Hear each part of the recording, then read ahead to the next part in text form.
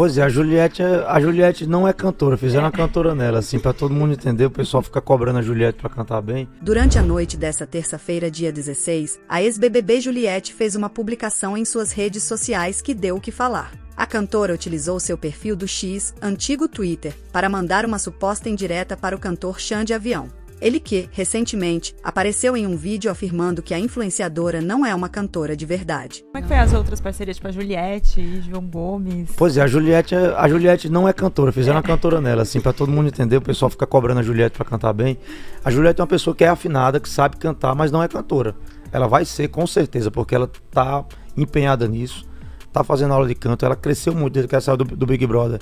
No DVD que eu gravei com ela, eu fiquei abismado com a, com a qualidade vocal que ela já, já tá, porque afinada ela é, sempre, sempre foi, mas ser cantor não é só afinar, é você saber usar a respiração na hora certa, e isso ela tá aprendendo com o tempo. Né? E a Juliette ia para os meus shows antes de ir pro Big Brother. Ela ia pro meu show lá em Patos, na Paraíba, em Campina Grande, João, João Pessoa. E eu chamei ela pra cantar comigo. Ela falou: Eu vou, mas eu só vou se eu escolher a música. E ela escolheu uma música minha que é Alta Estação, que é uma música que eu gravei em 2000 e 2011, eu acho.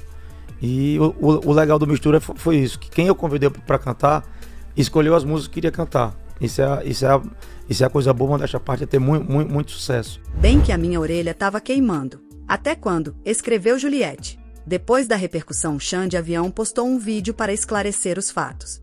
Fala moçada, comandante Xane Avião. Ó, eu tava no podcast ao vivo agora pela manhã no G1 e vi que um trecho que eu falei repercutiu bastante.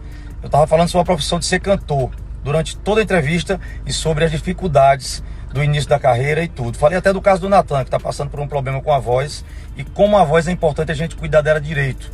E com o meu próprio aprendizado, eu comecei a fazer fono tá, com dois anos apenas. Quando eu falei da Ju, eu quis dizer exatamente isso que ela ainda não está totalmente pronta como cantora, mas que com toda certeza vai ser uma gigante. Eu digo isso desde que ela saiu do BBB, viu? Que ela é artista sim e que é tão do fundo do meu coração que eu convidei ela para participar do meu projeto Mistura, que sai dia 26, que é tão importante para minha carreira, eu nunca chamaria uma pessoa que não é cantora. Ju, continuo te falando como te falei agora, não deixe ninguém te colocar para baixo.